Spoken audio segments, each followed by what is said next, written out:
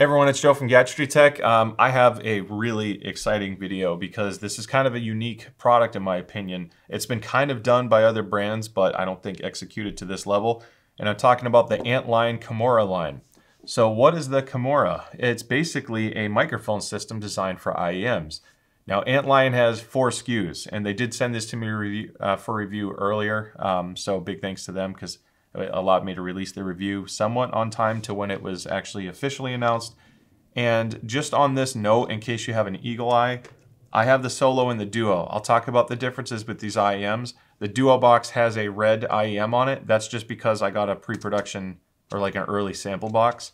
Um, yours will likely have a blue IEM. It was only on the first batch. The Duo is blue and the Solo is red in addition to some other changes. So what's really cool about this is they're not selling just an IEM with a mic. You can use most IEMs. In fact, if your IEM has a detachable cable, there's a very strong likelihood that you can just buy the $60 Kimura mic system, which has everything you see here but the IEM itself, and attach it to your IEMs. So uh, I have the Audeze Euclids. I'll show you what it looks like attached after. Those are $1,000 planar IEMs. And um, I don't have that cable with me, but Antlion also makes a two pin variant. So these are MMCX, by the way, which is a round plug. It allows the IEM to rotate, just a different type of connector. And that comes with the Solo and the Duo. They also make a two pin 0.78 millimeter variant, which will work on things as cheap as like, you know, the Salnotes Zero, for example. So if you already have a good budget IEM that you really like, comfort, sound quality, etc., you can buy the $60 Kimura and now get a really good mic on the IEM. Now, the voodoo magic thing for me, so just the reason why this is a big deal is because a lot of people lately, they message me and they ask about gaming with IEMs. What are the best gaming IEMs? And that's a harder, I might get into that more this year. I'm definitely going to be covering more IEMs this year. Um, but the hard part with IEMs is it's typically no good mic solution, especially if you're on the console side. So this thing came along and now you, you have this like whole new world opened up. That's why to me, the Kimura is such a big deal.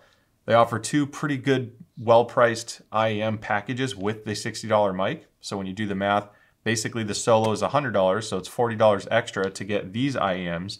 And then for $150, you can step up to the Duo, which comes with a higher quality IEM setup. So this is big. A lot of people want to start gaming on IEMs and you are always hamstrung by your mic option in a sense. So this opens up a whole new world. And I will do the mic test. I will show you how it sounds compared to the other Antlion products, including the ModMic Wireless and the ModMic Uni, um, which attach to full-size headphones. So we'll do a side-by-side -side comparison so you can hear what it sounds like. Now, when you put this on, I just want to show you how simple this is. I like MMCX for this reason. I like that it can rotate once it's connected. Uh, typically I use, I have more IEMs that are two pin, but basically all you have to do is put the IEM, IEM in, put the hook over your ear and kind of rotate it in place. And this little rubber hook has really good memory to it. It's not like super stiff, but it's all rubberized. Uh, it's going to help alleviate some of the weight or stress from the cable. I would say and the microphone, but this microphone has like no mess um, I constantly had to look to see if the microphone uh, was actually attached properly or if I did something on the install because you can't tell it's there from left to right. There's almost zero difference whatsoever aside from like, you know, touching it and feeling it um, on your shirt. Now, if I had to nitpick something, and this was sent to me for review, as I said, so uh, big thanks to Antlion. If I had to be nitpicky at all, there are a little bit more microphonics with this rubber cable than some other IEMs I've used, even down to like $20.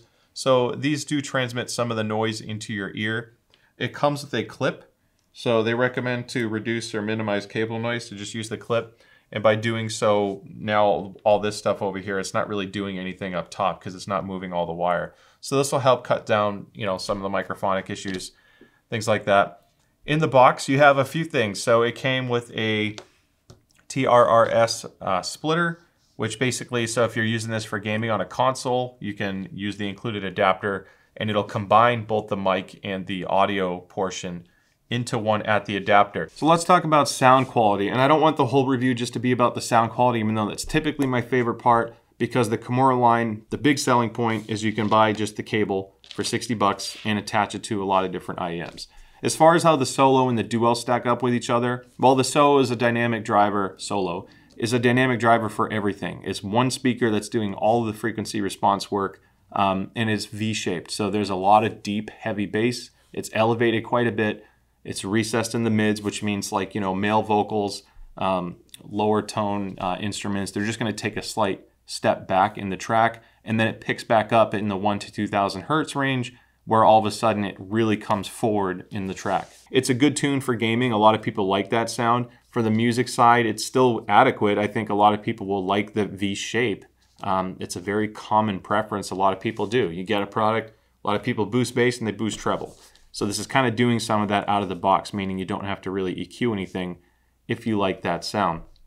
Uh, on gaming especially too, it's really fun with immersion because explosions are you know a little bit deeper and harder hitting, and then the environmental sounds, the higher pitch stuff, is very forward and present. And the duo, uh, the solo actually does a really good job when you consider that the IEMs are basically forty dollars. They're really nice.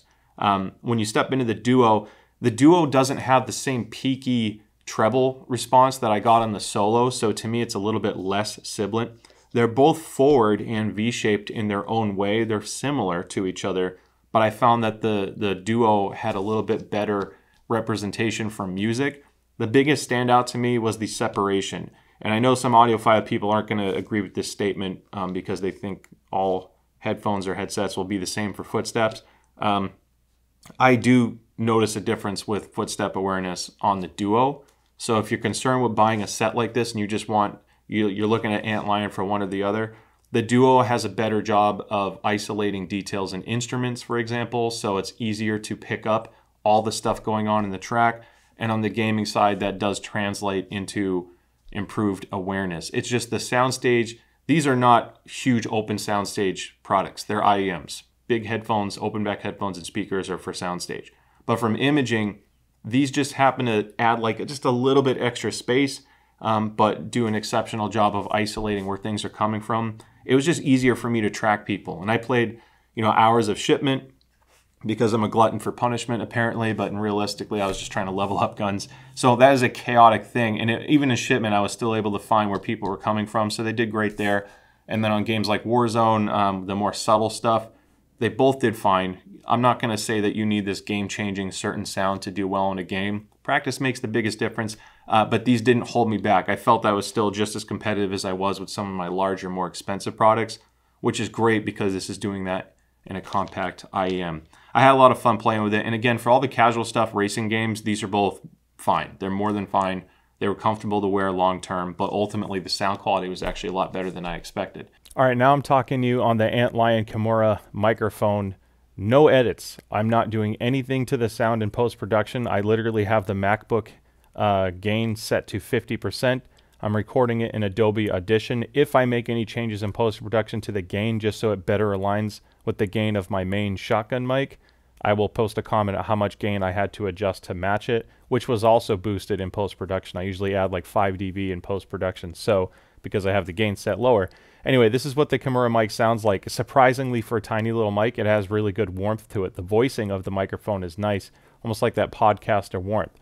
The one thing that stands out is this does pick up a lot more background noise than I'm used to for the other mod mics, which you'll hear in a moment. So this is a little bit more open sounding. It is going to hear your breathing, so you can hear me breathing in and out once in a while. It's going to pick up some more background noise, so let's start doing a typing test. I'll switch on a mechanical keyboard from SteelSeries, and then the MacBook Pro keyboard, and then a little scrape test so you can hear some noise in the background.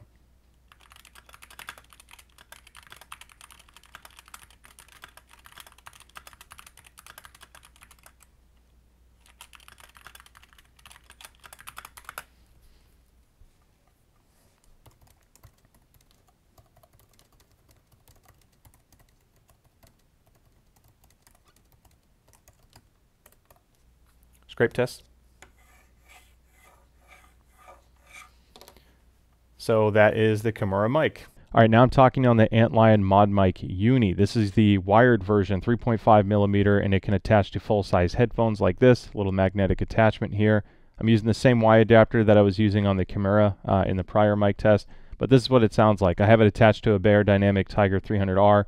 Great headphone for gaming and music listening as well, considering the price point but it didn't have a microphone, so obviously this is kind of like a match made in heaven. Anyway, let's do the background noise test.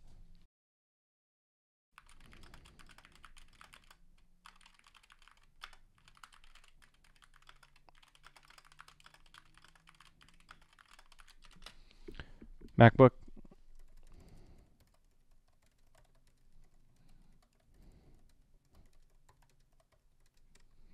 And the scrape test. That's it.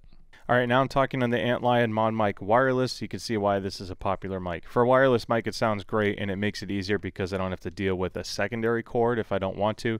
Obviously, you have to deal with a wireless adapter and charging it, but that's why you can pick either one. So my MacBook gain is set to 50%. Um, let's start typing on the keyboard. You can hear the background noise.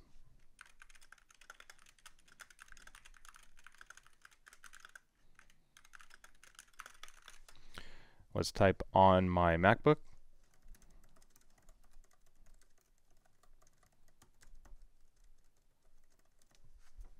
And the scrape test. That's the ModMic Wireless. So just in case, because I know some people are concerned about the nozzle size, uh, if you have something that's been measured or you're just curious how this stacks up, the opening of this nozzle, let's get make sure I get an accurate measurement here. It says 3.78 millimeters. That's the outside edge of this nozzle system before you get to the ring. Uh, some people are sensitive to a larger uh, bore size, if you will, in your ear, if you have tiny ears. So I just want to point that out. I have um, other IEMs that have a larger bore than this, like from KZ, and then there's IEMs like the Audeze um, Euclids, which have a smaller bore, different shape, but um, it can vary. And just because I mentioned it earlier, just to show you real quick, these the uh, Audeze Euclid IEMs, they're planar magnetic closeback IEMs, um, and it's a piece of cake. I just have to unsnap the uh, Duo in this case, I'll put the Euclid in my ear again, hook it over my ear, and then I have to, you know, obviously readjust the rubber so it fits around like the hook around my ear. And now I have a great seal and I'm good to go and I can use the Audeze Euclids for gaming or chat and benefit from the Kimura cable. So that about wraps up the review. You can see why I'm super excited for this. It's universal for the most part. They didn't lock you into some custom proprietary ecosystem.